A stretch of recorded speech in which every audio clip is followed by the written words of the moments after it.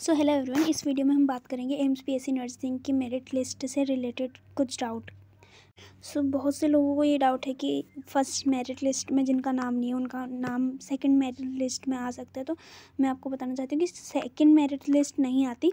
जो नाम first merit list में है ये फ़र्स्ट काउंसलिंग करा सकते हैं और सेकंड काउंसलिंग करा सकते हैं। और जिनका नाम लिस्ट में नहीं है वो सीधा ओपन राउंड में जा सकते हैं। और जो फ़र्स्ट काउंसलिंग नहीं कराते जिनका नाम इस लिस्ट में है अगर वो फ़र्स्ट काउंसलिंग नहीं कराते तो वो सेकंड काउंसलिंग भी नहीं करा सकते वो सीधे ओपन राउंड में जाएँगे। सो so, uh, मैं आपको बता दूँगी सेकंड लिस्ट नहीं आती मेरिट लिस्ट और जो ओबीसी और ईडब्ल्यूएस है उनके लिए ये नोटिस है कि वो फाइव पाँच से नौ तारीख के बीच में अपने सर्टिफिकेट को वेरीफ वेरीफाइड कराने के लिए साइट पर डाल दें और जिनके पास सर्टिफिकेट नहीं है, वो काउंसलिंग का इंतज़ार करें जब तक काउंसलिंग नहीं होती। ओपन राउंड तक इंतज़ार करें एंड जिनका नाम लिस्ट में नहीं है तो वो टेंशन ना लें क्योंकि ओपन राउंड तक इंतज़ार करें और बहुत से बच्चों को मिल जाता है कॉलेज पिछली ट्वेंटी ट्वेंटी में जनरल कैटेगरी की काउंसलिंग फोर थाउज़ेंड समथिंग तक हुई थी तो टेंशन मत लीजिए, इजीली मिल जाता है कॉलेज, क्योंकि बहुत से बच्चे ऐसे होते हैं जिनके पास अपनी कास्ट सर्टिफिकेट नहीं होता, इस वजह से उन्हें नहीं मिल पाता, एंड कुछ ऐसे होते हैं जो नहीं करना चाहते, जिन्हें कोई अदर कॉलेज में अच्छा अच्छी रैंक पे कोई अच्छा कोर्स मिल जाता है तो वो वो चूज़ कर लेते हैं। और नर्सिंग यहाँ पे बहुत से बच्चे ऐसे होंगे जो पैरामेडिकल करना चाहते होंगे तो ऐसे बहुत सी सीटें वैकेंट रह जाती हैं तो ओपन राउंड तक इंतज़ार कीजिए, आपको इजीली कॉलेज मिल सकता है।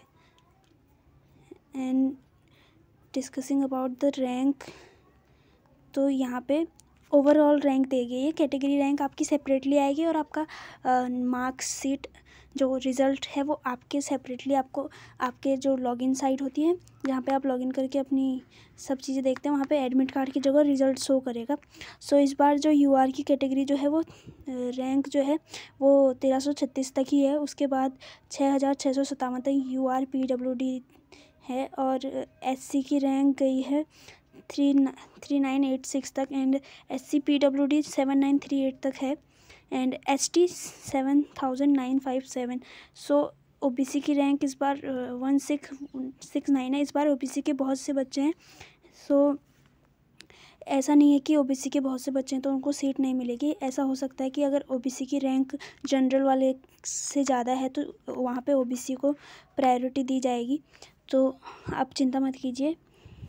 जनरल एक बार आप खुद प्रोस्पेक्टस डाउनलोड करके उसे पढ़िए। जैसे यहाँ पे दिखा गया है कि कैटेगरी जो सर्टिफिकेट है, वहाँ पे आपकी जो इशू डेट है, वो कब तक की, कब से कब तक की होनी चाहिए। जैसे ओबीसी के लिए फाइव सिक्स ट्वेंटी ट्वेंटी से अट्ठाईस दिसंबर ट्वेंटी ट्वेंटी वन तक होनी चाहिए और ई डब्ल्यू एस के लिए एक, चार ट्वेंटी ट्वेंटी वन से अट्ठाईस, बारह ट्वेंटी ट्वेंटी वन की होनी चाहिए। अगर इससे पहले और की है तो वो वैलिड नहीं माना जाएगा।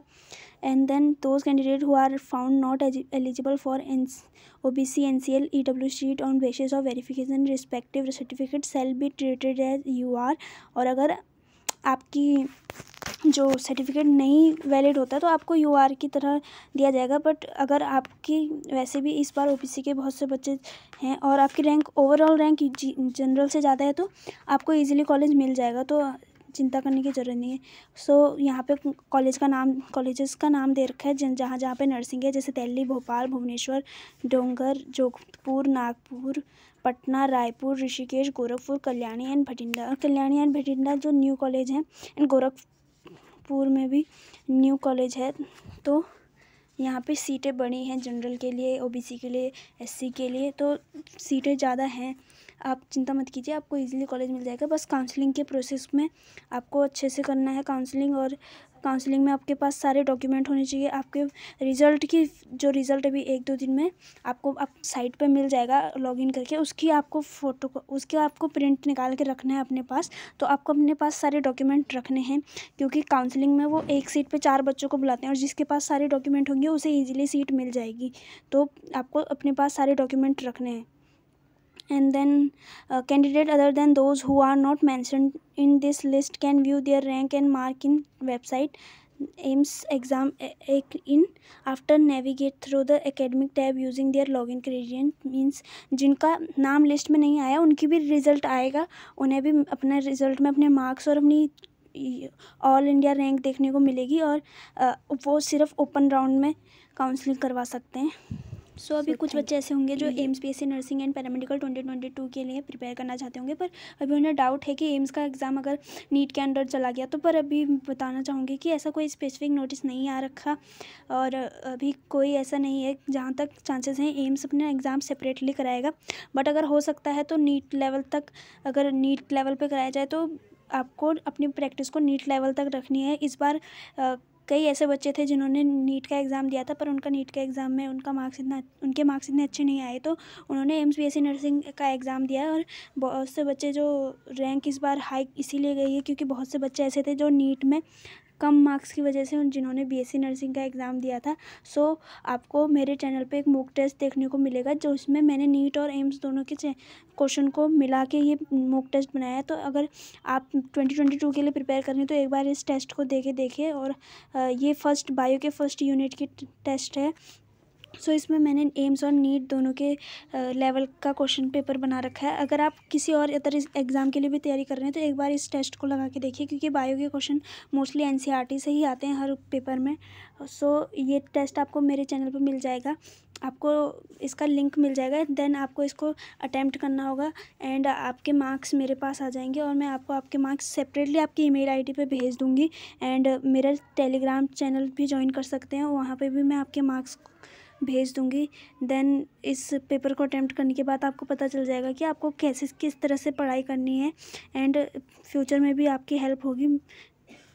सो so, एक या दो वीक के अंदर आपके लिए कोर्स लाया जाएगा जिस जो फ्री ऑफ़ कॉस्ट होगा जिसके अंदर आपको किसी भी एक नर्सिंग इंट्रेंस एग्ज़ाम की तैयारी करनी है तो आप कर सकते हैं उस कोर्स से जहाँ पे आपको रोज़ रोज़ हर वीक में एक पीडीएफ दिया जाएगा जिसमें आपके एक यूनिट बायो की एक यूनिट फिजिक्स के फिजिक्स के एक यूनिट के दो चैप्टर एंड केमिस्ट्री के यूनिट के कुछ चैप्टर दिए जाएँगे, जिनको आपको हर रोज़ रिवाइज करना होगा एंड हर रोज़ पढ़ना होगा एंड आफ्टर दैट हर वीक में आपका मॉक टेस्ट होगा, उनसे रिलेटेड ही हर वीक में एक बार मॉक टेस्ट होगा।